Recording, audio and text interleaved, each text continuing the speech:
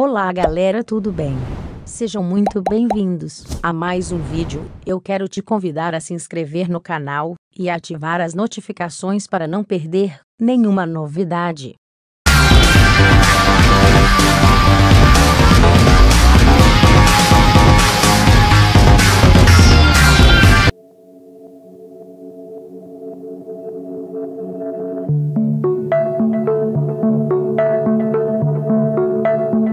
Ciclone extratropical se formará entre o final desta quinta-feira, dia 5 de outubro, e as primeiras horas dessa sexta, dia 6, a sudeste do Chuí e na costa uruguaia. O ciclone vai ser responsável por trazer frio, rajadas de ventos intensas, que podem passar dos 100 km por hora, para os estados do Rio Grande do Sul e parte de Santa Catarina.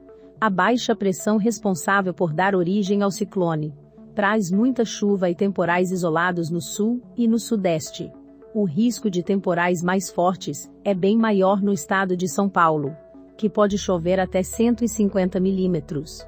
As tempestades serão responsáveis por causar vendavais, e há uma possibilidade de queda de granizo no estado paulista.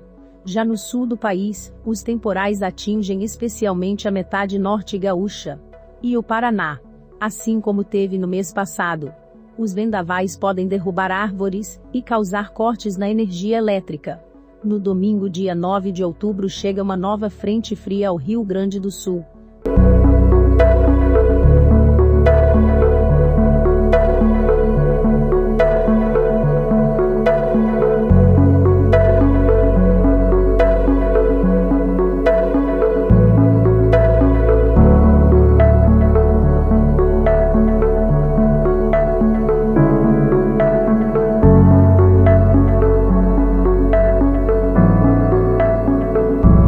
Esse foi o vídeo de hoje. Se você gostou, se inscreva no canal e ative o sininho e compartilhe com amigos.